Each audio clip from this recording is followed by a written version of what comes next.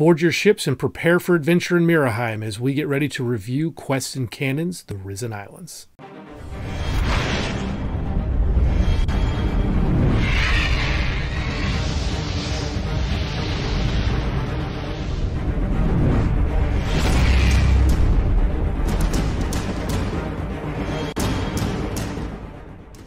Quests and Cannons is a high seas adventure game for 2 to 6 players.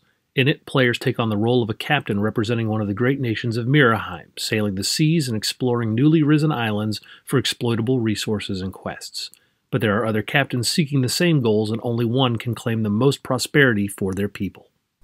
I want to thank Eric for sending me a copy of the game to review. I'm really excited to check this one out. It, it promises to be a bridge between kind of those complex games that I typically like to play versus maybe the lighter games that you know more casual players like. So it'll be neat to see if it does deliver on that promise. So what we'll do now is we'll take a look at the mechanics, see how the game plays, and then I'll go ahead and give my thoughts on it. Uh, one thing to note, uh, this is a prototype copy, so uh, expect the components and uh, things that are delivered in the final version of the game to be maybe slightly different than what you see on the video today.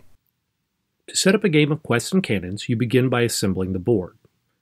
You start this by constructing the outer ring, and from there you lay out a series of hexes until the board is full. The game manual contains different layouts of the hexes depending on the number of players you're playing with and the type of game you're playing. Once the board is built, you will then lay out the island feature tokens randomly, with one being placed on each named island space. After all the island feature tokens have been placed, you will then put a score tracker on each scoring path on the outer ring of the board, and then you will shuffle and place each deck of cards in an associated spot on the outer ring as well. With the board assembled, each player will now set up their play area. Everyone receives a ship player board as well as a character insert representing the captain that they will be playing in the game. Players will then take their sail, cannon, and cargo space tokens as indicated on their captain insert. In this example with L-Wing Songfeather, she will begin with one sail, one cannon, and three available cargo spaces.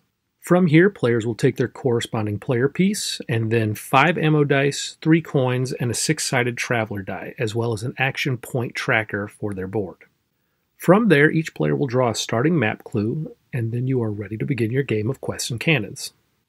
On their turn, a player receives three action points that they can use to perform various actions in the game. You can spend one action point to move one adjacent space on the board, and you can spend as many action points as you'd like on a turn for movement. Additionally, when moving, you can use one or more of your sails to increase your movement by one space per sail used. There are various types of spaces present on the board. There's calm seas, which just simply count as one space for movement. There are stormy seas, which count as two spaces. The named island spaces contain the feature question mark tokens and will be where you obtain many of the resources you'll use in the game. Treacherous sea spaces count as one space for movement, however, they do require a player to use their traveler die in order to avoid a penalty when moving through them.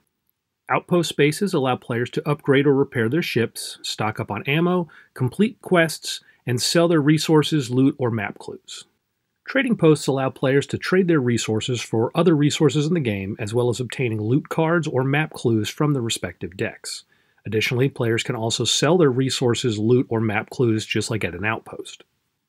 The starting spaces on the board allow players to repair their ships, stock up on ammo, and sell the resources, loot, and map clues that they have similar to the outpost. When a player ends their move action on a named island, they will reveal that island's feature token. Once revealed, players can take the gather action on any island space with a revealed token. This action allows the player to collect resources of the matching type and can collect as many as they want that will fit into their open cargo hold spaces. The third main action players can take is the attack action. If a player ends their move in a space with a rival ship, they may fire their cannons. To do this, a player will spend one action point and fire as many cannons on their ship as they'd like. For each cannon fired, they will flip over their available cannon token to its fired side, and they will collect an ammo die for each cannon being fired.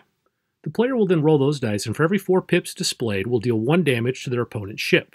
Damage is recorded on the captain's insert by placing a damage token over an available heart space. Play continues in this fashion, with players moving around the board, collecting resources, and attempting to collect victory points via quest cards, map clues, and other items. Once a player reaches a predetermined victory point total based on the scenario being played, all other players will have one final turn to attempt to collect points. Whoever ends with the most points wins the game. Does the game bridge that complexity gap? Can you get this in front of casual folks while also entertaining your your core kind of strategic game players? Uh, it does. It bridges that very well. The game is easy to teach. It's easy to kind of get on the table in front of casual people. It's not going to overwhelm them with a lot of rules or terminology that they're not going to be familiar with. However, it does have that complexity and that strategic depth that's going to really entertain your core gamers. It's it's a fun game to play. I enjoy playing it, but it's not going to intimidate the casual people in my life that I do play games with. So, in that account, it wins uh, and it succeeds in exactly what it was trying to do. Another thing that works really well is the world building, the, the story that this game tells. Um, there's a lot of really interesting elements to this that I want to learn more about and I want to explore in the game. Uh, the designers have talked about how this is, you know, the first part in potentially other games coming out that further explore this world, and that gets me excited for it because I'm not playing a generic naval game. I'm I'm exploring the world of Miraheim and just really investing myself into this just by playing a simple board game, which is very hard to do.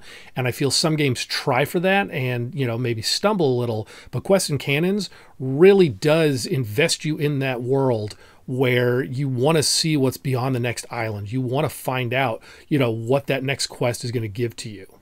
Another thing I like, uh, it kind of relates to the first two pieces of this, is just the component design and the decisions they made in this game.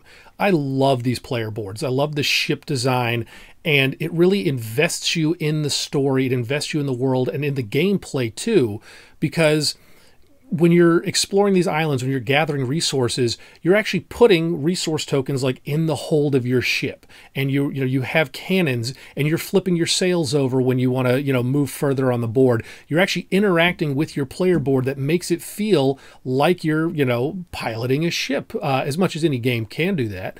And I really think it does it well. You know, some games try to do that with their mechanics or with their design, and they can fall a little flat. And I think Quests and Cannons really nails that feeling of being kind of in charge of your ship because you're actively manipulating these objects and these pieces in the game that you're playing, which again just invests you in that story and in that world. You, you feel like you're piloting that ship yourself, which is just really cool. One thing I'll note, uh, it's a, a, little bit of a stumble, more of a pro and a con, is the map setup. Um, there are four pages in the rulebook solely devoted to how you set up the map for this game. Um, so it can be a little, uh, I guess, I don't want to say time consuming. Setting up any board game can take time, but it just feels a little extra complex for uh, a game that is otherwise pretty straightforward. The pro of this and the, the flip side is the fact that it's because the game allows for a varied player count, um, different game modes, solo and co op, and what have you. So, again, it's not a bad thing. It just feels like, I don't know, maybe if there were fewer tiles that were larger, it would have streamlined that uh, setup piece or but maybe you would have lost that flexibility. I, I don't know. Um, it's definitely not a deal breaker. It's more just something that kind of you know stood out to me as I'm playing this very you know well thought out and designed game. But then I'm sitting here you know bent over a map trying to figure out did I place this hex in the right spot. So again, not a deal breaker, but something to keep in mind. Final thoughts on the game. I really like quests and cannons. I think it works well. It's a very well designed game with a lot of great story building and gameplay design and concepts, and it all just it meshes well to create this game that can appeal to a broad audience of players, both casual and hardcore, in a manner that really sucks you in and makes you want to play the game, to explore this world of Miraheim and just see what it has to offer. So, again, I can't recommend this game enough. And uh, otherwise, as always, please, you know, like the video, subscribe to the channel if you want to see more like this, and I will see you all next time. Thanks.